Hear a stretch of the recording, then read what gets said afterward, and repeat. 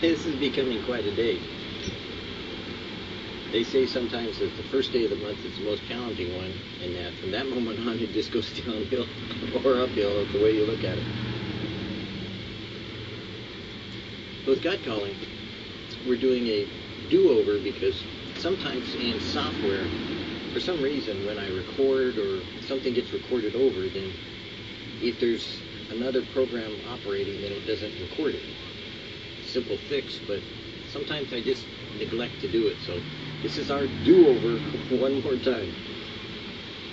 And, you know, lots of times that's where we don't realize, I think, that God gives us the opportunity always, you know, all the days of our lives, that we're alive, that as long as we're breathing, as long as we're seeking, as long as we're understanding the knowledge that God has given us, the faith that He's placed in us, the initiation of faith that He wants to have us turn to Him, that we can always do over, so to speak, our life is that we can be every day new every morning because great is His faithfulness to cause us to come to Him, to be renewed by Him, to be refreshed by Him, to be changed by Him as He works in us, both to do and to will of His good pleasure, but that He can, being the creator of the universe, cause us to be made new or changed in a way that we would never have thought of to become,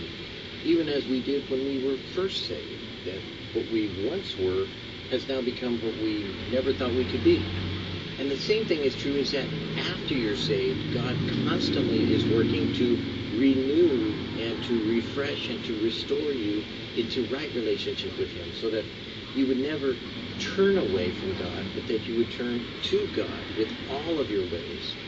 Because if we acknowledge Him in all of our ways, if we trust in Him with all of our heart, if we seek Him, then He will direct our path and He will direct that path to Himself. That we should receive mercy and forgiveness, grace and help in time of need. So it's always a question of going from which way are you going to are you going to Him with whatever it is you're going through. In God calling, how rich you are. I will never leave you nor forsake you. Hebrews 13:5. My children, that word is unfailingly true. Down the centuries, thousands have proved my constancy, my untiringness, my unfailing love. Never leave, never forsake. Not just a presence is meant by this, but me, but my personality, but who I am in relationship to you. My love will never leave you. My understanding will never leave you. My strength will never leave you. Think of all that I am. Love, then forever you are assured of love, because my love will never leave you. For I have loved you with an everlasting love. Therefore, with loving kindness have I drawn thee. Strength, then, in every difficulty and danger. You are sure of strength. For you are my stronghold and my strength, my shield and my strong tower. In you whom I trust, I will not be afraid. Patience then always is the one who can never tire. And he is patient with us, long suffering, always aware of what we are made out of. That he should always be consideration and considerate of us, that we should manifest the same patience towards others that he has with us long suffering to the point of extending his mercies which endure forever. Understanding then always you will be understood. Because God knows the frame that we are made out of. He knows that we are dust. He understands that we need to be transformed by the renewing of our mind, and he does that so that we would know what is the perfect and acceptable will of God in Christ Jesus. So he knows us better than we know ourselves as he changes us into his image. Can you fear the future when it holds so much for you? No. Beloved, set your affections on things above, the higher spiritual things, and not on the things on the earth, the lower temporal things, and you will see how rich you are. The reality of God at work in you isn't for you to go out and work through your salvation with fear and trembling only, but rather to allow Him to work in you that accomplished purposes that He's designed to work for you by making in you a reality of a spiritual dimension that would cause you to be transformed by the renewing of your mind and the changing of your spirit to become born again after what He would cause you to be. You see, some things just automatically happen.